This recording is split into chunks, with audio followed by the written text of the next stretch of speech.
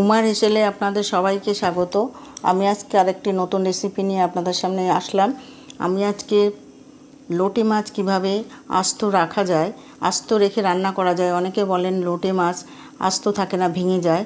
তো আমার এই টিপসটা যদি ফলো করে রান্না করেন, তাহলে দেখবেন রান্না, পুরো লোটে মাছটাই আস্ত থাকবে। এই রান্নাটা খেতে খুবই ভালো লাগে। তো যদি ভালো লাগে, একবার অবশ্যই রান্না করবেন। আর আমার চ্যানেলটিকে সাবস্ক্রাইব করে আমার পাশে থাকবেন। যারা আমার ফেসবুক পেজ থেকে দেখেন, তারা আমার পেজটিকে ফলো করে নেবেন। ভালো থাকবেন, সুস্থ থাকবেন। টাটকা ফ্রেশ কিছুটা আমি লোটে মাছ নিয়েছি। লোটে মাছগুলো বেশ সাইজে বড়। এবার আমি এই লোটে মাছগুলোকে নুন আর হলুদ মাখিয়ে নেব। লোটে মাছ আস্ত এবং গোটা কীভাবে থাকে, সেটা আপনাদের আজকে দেখাবো। তো নুন আর হলুদ মাখিয়ে মাছগুলোকে আমি কিছুক্ষণ রেখে দেব। নুন, হলুদটা আমি ভালো করে মাখিয়ে নিয়েছি।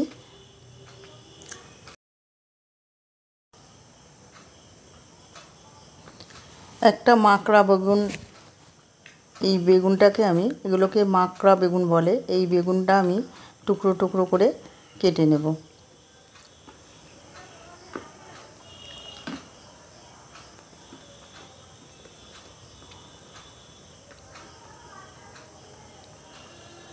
এগুলোকে আমি জলে ভিজিয়ে রাখব বেশ কিছুক্ষণ। জলের বেগুনের যে একটা কষ ভাব থাকে, সেটা ভিজিয়ে রাখার পরে উঠে যাবে।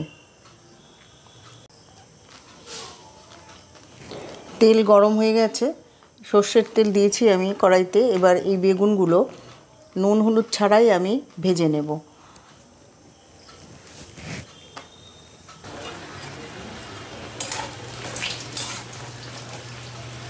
বেগুন ভাজা হয়ে গেছে। এরকম লাল লাল করে আমি ভেজে নিয়েছি। এবার বেগুনগুলোকে আমি উঠিয়ে নেব।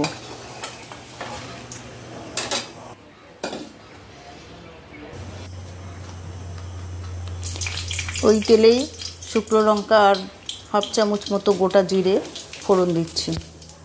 ফোড়নটা একটু ভাজা ভাজা হয়ে করে নিয়ে তারপরে আমি বাদ মশলাগুলো দিয়ে দেবো।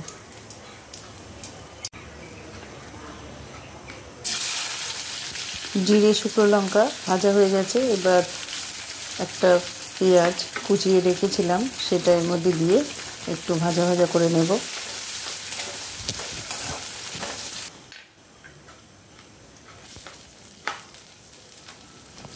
পেঁয়াজ ভাজা ভাজা হয়ে গেছে।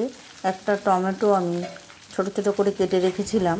এবার এই টমেটোটা এর মধ্যে দিয়ে টমেটোটা সেদ্ধ হওয়া পর্যন্ত নাড়াচাড়া করে আমি রান্না করব। আর দিলাম কিছুটা চেরা কাঁচা লঙ্কা।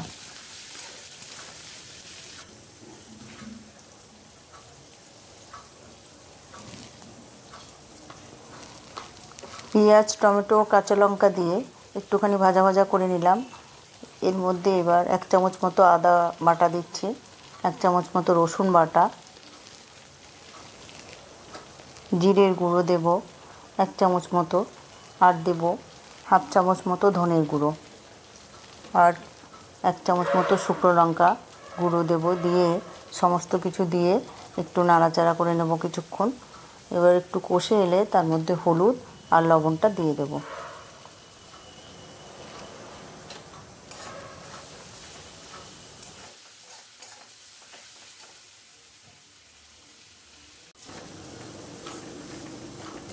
মশলাটা ভালো কষানো হয়ে গেছে, মশলাটা কড়া থেকে উঠে আসছে। এবার এর মধ্যে আমি পরিমাণ মতো জল দিয়ে দেবো। জলটা খুব বেশি দেব না, পরিমাণ মতো জল আমি দিয়ে দিলাম। এবার একটু মশলাটা, জলটা ভালো করে মিশিয়ে নেব। তারপরে আমি মাছগুলো এর মধ্যে দিয়ে দেবো।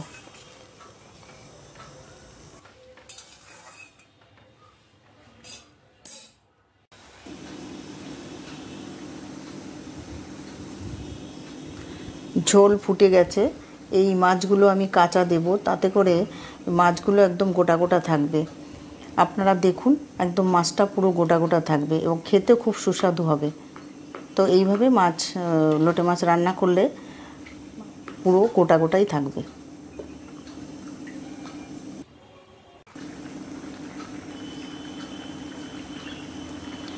ঝোল ফুটে গেছে এবং ঝোলটা খুব অনেকটাই কমে এসছে। এবার ভেজে রাখা বেগুনগুলো আমি এর মধ্যে আলগোছে দিয়ে দিচ্ছি। খুব বেশি নাড়বো না।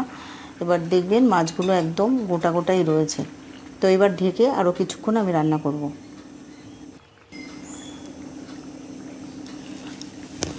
ক মিনিট রান্না করার পর আমি ফিরে আসলাম।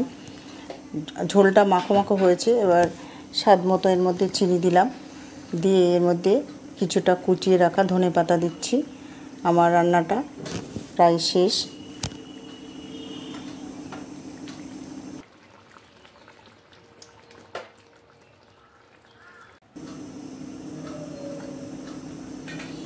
ঢেকে মিনিট দুই তিন রান্না করলাম। ঝোলটা এরকমই হবে। এবার এর মধ্যে আমি হাফ চামচ মতো গরম মশলা দিচ্ছি। গরম মশলাটা দিলে এর স্বাদটা হবে অপূর্ব। খেতেও খুব ভালো লাগবে। মাছগুলো পুরো গোটা গোটাই আছে। আপনারা বুঝতে পারছেন কিনা আমি জানি না। এইভাবে আমি সারাশি দিয়ে হালকা করে নাড়ছি। এবার আমি ঢেলে দেখাবো। মাছ রান্নাটা আমার হয়ে গেছে। এবার আমি ঢেলে দেখাচ্ছি আপনাদের যে মাছটা কেমন গোটা গোটা রয়েছে।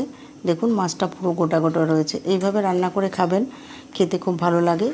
আত্মীয় স্বজন আসলেও তাদের খাওয়াবেন।